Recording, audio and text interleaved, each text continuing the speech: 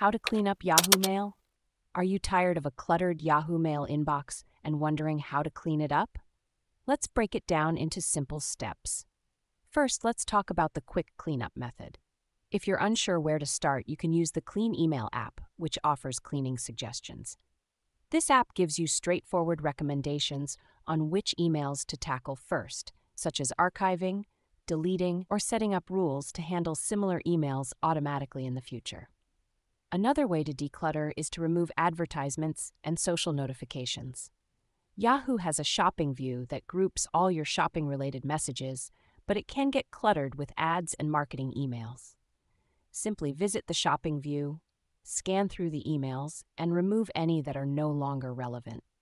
For a more efficient cleanup, you can use the Clean Email app's Smart Folders. These folders automatically sort your messages into categories like social notifications, promotions, and personal emails.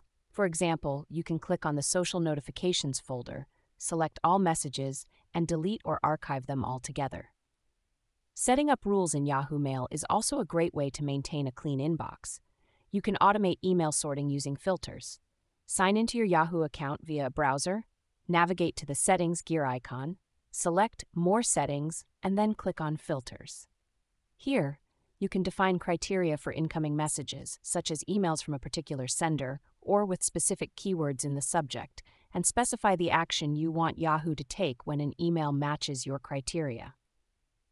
If you need more advanced automation, Clean Email offers an auto clean feature you can set up rules to delete, archive, or categorize emails based on criteria like the age of the messages, their size, or read unread status. Simply go to the Clean Email app, select the group of messages you want to create a rule for, tap the Create Rule button, define the rule's criteria, and select the desired action. For a more organized approach, you can use the three folder method. Create three main folders Action, Awaiting Response, and File.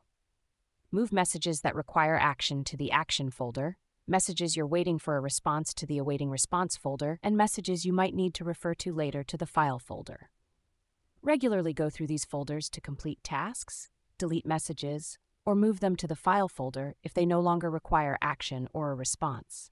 If you want to delete all emails in your inbox, you can select All Visible Emails, click Select All X Messages in Inbox, and then click the Delete button.